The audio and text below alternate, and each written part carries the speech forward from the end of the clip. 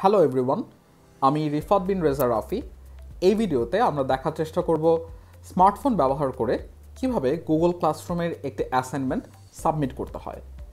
এজন্য Google classroom অ্যাপ্লিকেশনটির পাশাপাশি আপনার স্মার্টফোনে গুগল ডক্স অ্যাপ্লিকেশনটিও ইনস্টল করা থাকতে হবে। আমরা এই অ্যাপ্লিকেশনটিতে গেলে খেয়াল করতে হবে যে এখানে যাতে আমাদের ইউনিভার্সিটি থেকে দেওয়া স্টুডেন্ট ইমেল আইডি দিয়ে লগ করা থাকে। এই লগ ইন করা না থাকলে এই অ্যাপ্লিকেশনটির মাধ্যমে অ্যাসাইনমেন্ট ক্রিয়েট এবং সাবমিট করা সম্ভব নাও হতে পারে। আমরা এখন গুগল ক্লাসরুমে ফিরে যাচ্ছি। এখানে আমরা দেখতে পাচ্ছি tutorial one o one section one কোর্সটিতে বিভিন্ন ধরনের অ্যাসাইনমেন্ট বা কুইজ দেওয়া রয়েছে, যেটি আমরা হোম পেজে যাওয়ার সাথে সাথেই দেখতে পাবো।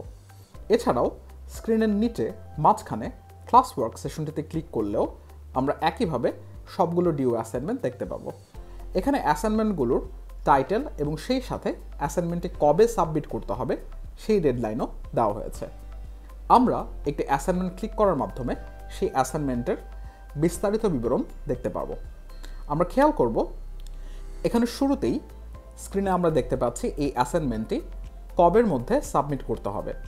অ্যাসাইনমেন্টের টাইটেল হচ্ছে প্যারাগ্রাফ রাইটিং এবং এটির জন্য দশ পয়েন্টস বরাদ্দ রয়েছে। এখানে ক্লাস কমেন্ট অ্যাড করার একটি অপশন রয়েছে। কিন্তু এখানে কোনো ক্লাস কমেন্ট অ্যাড করার মাধ্যমে অ্যাসাইনমেন্ট সাবমিট করা যাবে না। কারণ এই ক্লাস কমেন্টটি পাবলিক অর্থাৎ এই ক্লাস কমেন্টে আপনি যা কমেন্ট করবেন, সেটি ক্লাসে সবাই দেখতে পাচ্ছে। তাই এই অংশে উত্তর লিখে অ্যাসাইনমেন্ট সাবমিট করা যাবে না। এছাড়া আমরা এর নিচে দেখতে পাচ্ছি do not forget to submit after you are done এই কথাটি লেখা রয়েছে। এটি অ্যাসাইনমেন্টের ইনস্ট্রাকশন সেকশন অর্থাৎ এই অ্যাসাইনমেন্ট সংক্রান্ত যে কোনো ধরনের নির্দেশনা আপনার ইনস্ট্রাক্টর এই জায়গাটিতে লিখে রাখবেন। এছাড়া স্ক্রিনের নিচে একটি অ্যারো বাটন রয়েছে। এই অ্যারো বাটন ক্লিক করলে আমরা দেখতে পাবো অ্যাসাইনমেন্ট সাবমিট করার অপশনটি ওপেন হয়েছে। এখানেও প্রাইভেট কমেন্ট দেওয়ার অপশন রয়েছে, যেখানেও প্রাইভেট কমেন্ট দেওয়ার মাধ্যমে উত্তর দেওয়া যাবে না। অর্থাৎ এখানে প্রাইভেট কমেন্ট আপনি শুধুমাত্র তখনই করবেন যদি ইনস্ট্রাক্টরের কাছে আপনার অ্যাসাইনমেন্ট সংক্রান্ত কোনো ধরনের প্রশ্ন জিজ্ঞাসা বা দ্বিধাদ্বন্দ্ব থাকে। অ্যাসাইনমেন্ট সাবমিট করার জন্য আমরা এখানে অ্যাড অ্যাটাচমেন্ট বাটনটি লক্ষ্য করি।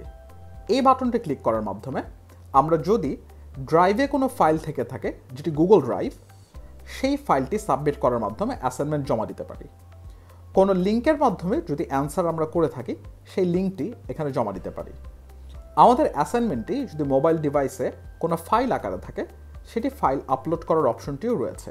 এছাড়া আপনি যদি খাতায় কোনো অ্যাসাইনমেন্ট লিখে থাকেন এবং ইতিমধ্যেই তার ছবি তোলা থাকে, তাহলে পিক ফটো অপশনটি থেকে আপনি সেই ছবিগুলো সিলেক্ট করে সাবমিট করতে পারবেন।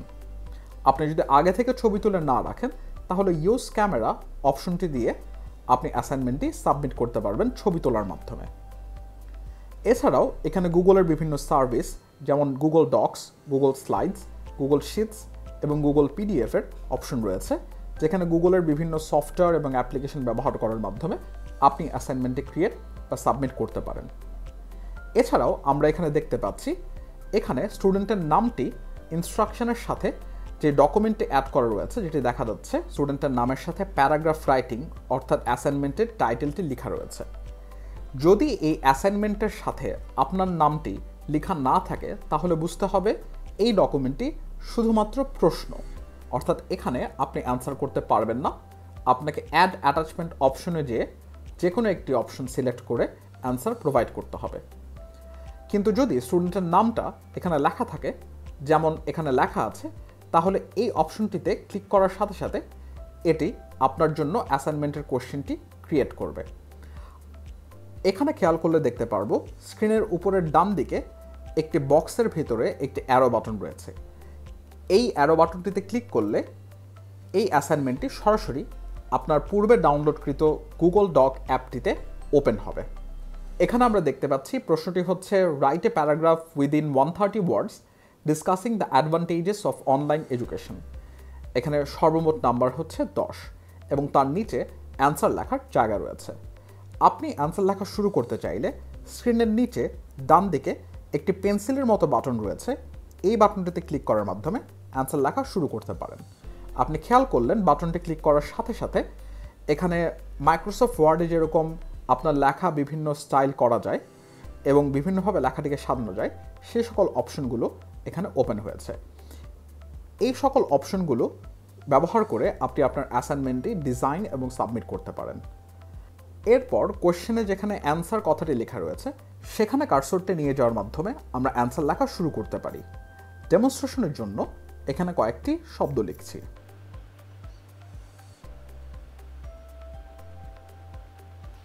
আপনার অ্যাসাইনমেন্ট লেখা শেষ হয়ে যাওয়ার পরে স্ক্রিনের উপরে বাম পাশে একটি টিক মার্কের অপশন রয়েছে। এই টিক মার্কের অপশনটি ক্লিক করার সাথে সাথে এই অ্যাসাইনমেন্টটি সেভ হয়ে যাবে। তবে অ্যাসাইনমেন্টটি সেভ হওয়ার পরেও অ্যাসাইনমেন্টটি এখনও জমা দেওয়া সম্পন্ন হয়নি। সেই জন্য আপনাকে আবারও গুগল ক্লাসরুম অ্যাপ্লিকেশনটিতে ফিরে যেতে হবে। এখানে হ্যান্ড ইন নামে একটি অপশন রয়েছে। এই বাটনটি ক্লিক করার সাথে সাথে আপনার অ্যাসাইনমেন্টটি সাবমিট হয়ে যাবে। অর্থাৎ শুধুমাত্র অ্যাসাইনমেন্টের লেখাটি শেষ করলেই হবে না, এই হ্যান্ড ইন বাটনটি প্রেস করার সাথে সাথে আমরা একটি ডায়ালগ বক্স ওপেন হওয়া দেখতে পাচ্ছি এবং এখানে গুগল কনফার্ম করতে চাচ্ছে যে আপনি এই অ্যাসাইনমেন্টটি সাবমিট করতে চান কিনা। আপনি এখানে আবারও হ্যান্ড ইন বাটনটি ক্লিক করার মাধ্যমে আপনার অ্যাসাইনমেন্টটি সাবমিট করতে পারবেন। আমরা খেয়াল করলে দেখতে পারব, সাবমিট বাটন প্রেস করার কিছুক্ষণ পর আনসাবমিট বাটন নামে একটি বাটন চলে এসেছে। এর মানে আপনার অ্যাসাইনমেন্টটি ইতিমধ্যে সাবমিট হয়ে গেছে। আমরা উপরের অ্যারো বাটনটি আবার প্রেস করলে অ্যাসাইনমেন্টের পূর্বের পেজটিতে ফিরে আসতে পারব।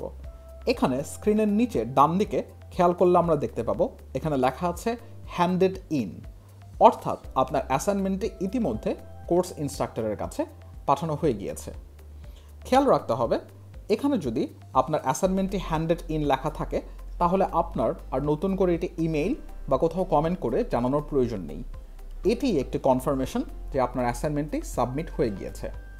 এভাবেই সহজে স্মার্টফোন ব্যবহার করে বিভিন্ন ডকুমেন্ট অ্যাটাচ করার মাধ্যমে, ছবি অ্যাটাচ করার মাধ্যমে কিংবা গুগল ডক অ্যাপ্লিকেশনটি ব্যবহার করার মাধ্যমে সহজেই অ্যাসাইনমেন্ট সাবমিট করা সম্ভব। সবাইকে অসংখ্য ধন্যবাদ।